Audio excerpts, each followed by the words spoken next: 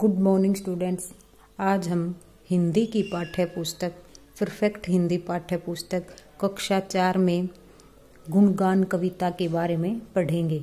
गुणगान कविता मैथिली शरण गुप्त द्वारा लिखी गई है। गुणगान कविता की कवि का नेम है मैथिली शरण गुप्त।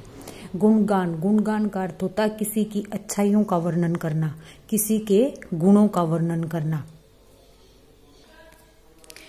इसमें कवि ने भक्त की परेशानियों के बारे में बताया है कि वह ईश्वर के द्वार तक ईश्वर के दर्शन करने जाता है, परंतु उसे ईश्वर के दर्शन नहीं हो पाए।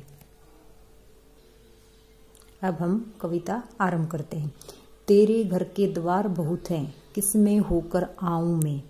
सब द्वारों पर भीड़ मची है, कैसे भीतर जाऊँ मैं? इसमें एक भक्त अपने ईश्वर को कहता है कि, हे ईश्वर, तेरे घर के द्वार द्वार का अर्थ होता है दरवाज़ा, कि तेरे घर के दरवाजे बहुत हैं। किसमें होकर आऊँ मैं? मैं कौन से दरवाजे से होकर आऊँ? सब द्वारों पर भीड़ मची है कि सभी दरवाजों पर बहुत भीड़ लगी हुई है। कैसे भीतर जाऊँ मैं? भीतर भीतर का अर्थ होता है अंदर, कि मैं कैसे अंदर जाऊँ? कि सभी दरवाजों पर भीड़ लगी हुई है और मैं कैसे अंदर जाऊँ? द्वारपाल भय दिखलाते हैं, कुछ ही जन जाने पाते हैं। शेष सभी धक्के खाते हैं क्यों कर घुसने पाऊँ में। द्वारपाल द्वारपाल मतलब पहरेदारी करने वाला या या चौकीदार, जो दरवाजे के बाहर पहरेदारी करता है। भक्त कहता है कि दरवाजे पर जो द्वारपाल है, वह बह बहकार होता डर, वह डर दिखलाते हैं। कुछ ही जन जाने पाते हैं और कुछ ही जन लोग अंदर जाने पाते हैं। शेष सभी धक्के खाते हैं और शेष तो सभी यहीं पर धक्के खाते हैं। क्यों कर घुसने पाऊँ मैं? और मैं कैसे घुसने और मैं उनमें से कैसे अंदर आऊँ? तेरे घर के द्वार बहुत हैं, किसमें होकर जाऊँ मैं?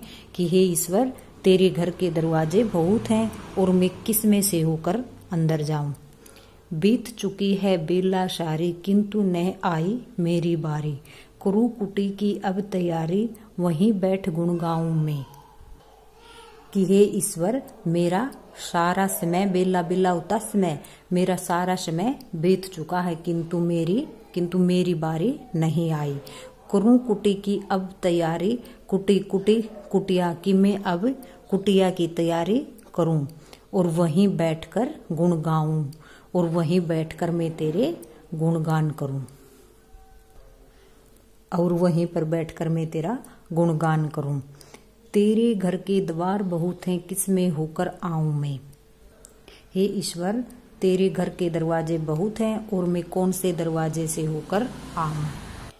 इस कविता में, कवि ने एक भक्त के माध्यम से बताया है कि, हे ईश्वर, तेरे घर के दरवाजे बहुत हैं, और कौन से दरवाजे से होकर मैं अंदर आऊँ? सभी दरवाजों पर भीड़ लगी हुई है, और दरवाजे पर जो पहरेदार खड़े हैं, वो, पहरेदार खड़े हैं, वे बह दिखलाते हैं, वे डराते हैं, लेकिन उनमें से कुछ ही जन अंदर जाने पाते हैं, और शेष सभी तो वहीं खड़े रह जाते हैं, और और मैं भी अंदर नहीं जाने पाता हूँ।